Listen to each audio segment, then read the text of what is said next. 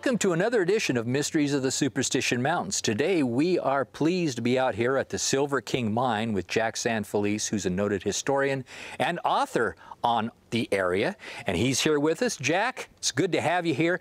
Tell us, how did you become associated with the Silver King Mine? At age 52, I, in law enforcement, enough was enough. And, you know, I worked, I, I spent 11 years working in the ghettos.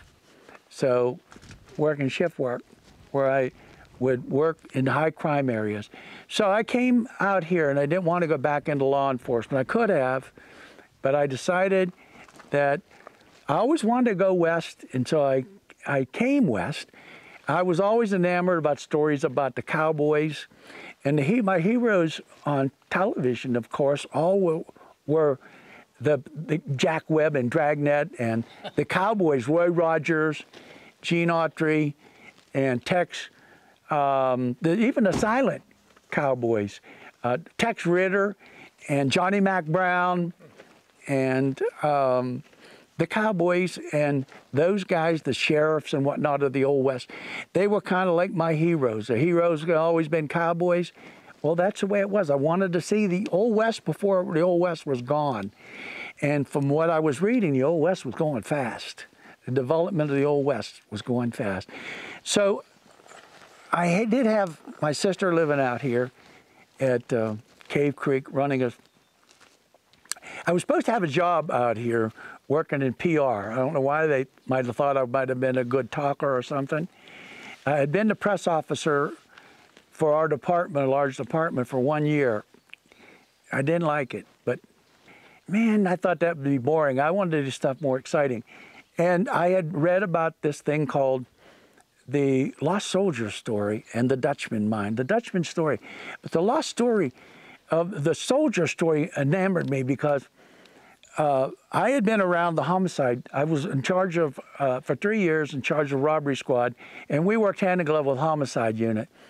And so uh, um, I saw that facet of law enforcement and I worked in that facet. And I said, I looked at the Lost Soldier story being a murder story that needed to be solved. Obviously, they were killed, they were murdered in the superstitions. It's an old murder story. Maybe I could go back and work on it, work it up, and do something to perhaps solve it or give a plausible story and write a book about it. Couldn't even, couldn't even find the names of the soldiers. To this day, 2,000 pages on the soldiers, I don't know their names. I have stories that says that the soldiers were named X and so. Can't find that name in Fort McDowell anywhere in the record, anywhere of the Army posts in Arizona of, of the, that names of people that were here. So I said, well, the tale starts at the old mine called Silver King. Why don't I go up and start there? I'm still reading every night about the Dutchmen and the soldiers and doing research, and I'm going to libraries around here and whatnot. Play. I couldn't find anything, hardly anything, nothing in the libraries. It was just all gobbledygook stories, some stories about guys that told basically fairy tales, and they took the same story and told it and changed a few words around, and never really made sense out of it because the Lost Dutchman couldn't have been on Bluff Spring or Blacktop or any of those other mountains if everybody was darn sure it was on Blacktop, darn sure it was on Bluff Spring, darn sure it was on uh, Weaver's Needle, darn sure it was on here. It was all these stories. Wait a minute, a hundred different stories of where they knew exactly where it was. No, nobody. Obviously, nobody really knows because they didn't find gold. The thing of it is, didn't find a gold. I said, well, maybe the soldier story would be easier. So first I got to find Silver King. I'm, I'm by myself in my Ford Explorer, and I'm running around the mountains, but I've always got a gun. So, and I still got one. I always got a gun everywhere. So I go and I'm, and I find old, this old road, and uh, it comes up here. And someone said it's north of Superior on the dirt road. So no, there's about 18 dirt roads coming off of Superior going different places as you go through the desert. And, and so I finally found my way up here and I go through the gate and it's abandoned. There's nothing here. There's nothing here. The year's 1993, okay? There's nothing here. There's a lot of piles of rocks, is all I see. And I see some remnants of cabins and whatnot. Nobody. And the whole mine's full of water. And I go over to where that, and I drop, would drop rocks down to hear them plunk. I thought, well, it makes a nice sound. I would plunk the rocks down there. One day, in 1996, I've been looking and searching for the Dutchman and, and stories. I'm doing research, and I had met Greg Davis, and I'm studying at his house all summer, making Xerox copies of everything and looking for the lost soldier story. And so I started finding more on the Silver King than I could on the lost soldier. So, Jack, how did you acquire the original photos? So I was putting this binder, and I got this binder, and Greg says, Well, I know this lady over here, and maybe she knows something. That lady told me about another lady. This lady had original photos of the Silver King mine. She had a letter from her grandfather, and he was telling somebody about the soldier story. And so he wrote in there and but it was the only letter that she had. She wouldn't let me take it to make a copy. She said, Jack, I, and she had given me photos, original photos, copies of, and some original photos of the Silver King. So I have a whole folder of photos that given to her. Her name was uh, Velma Bowen Tucker. And I dedicate in the front to her, there's four people I dedicate that Silver King book to.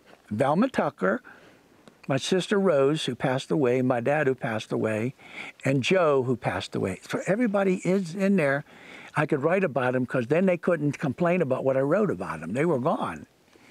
I figured I'm safe here.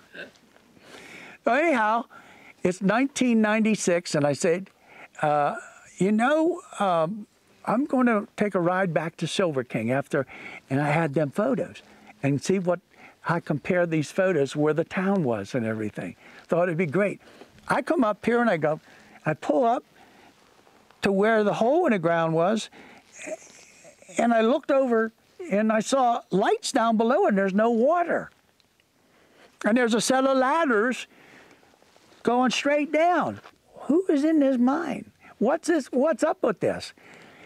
Being an old policeman, I walked the alleys of D.C. by myself with just a gun and a flashlight. If I can do that, I, and I'm claustrophobic though, I said I can go down in and find these who these people are. It don't. If I can hear them, see the light, it can't be far. They were 256 feet underground. Okay, they were in the third level. There was the 110, the 150, the, yeah, the 110, the 150, the 256, and the 300, the 308. So I keep going down forever, and you go down 16 feet on a wooden ladder, which is wet because it's a wet mine, and I go through a little hole, and and and at the first little hole, I had to leave my camera because I couldn't go through it with the camera in my backpack. I left it there.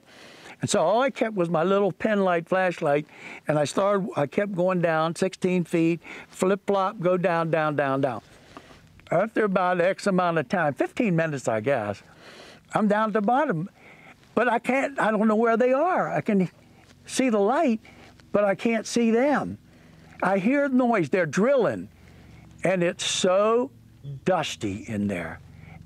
They can't see me. I that kind of. They look like ghost figures. I'm hollering at them. I want to let them know I'm there. They can't hear me because of the drill. It, the drill's like a jackhammer. It's on a tripod um, drill, and it goes eight feet long is the drill bit, okay?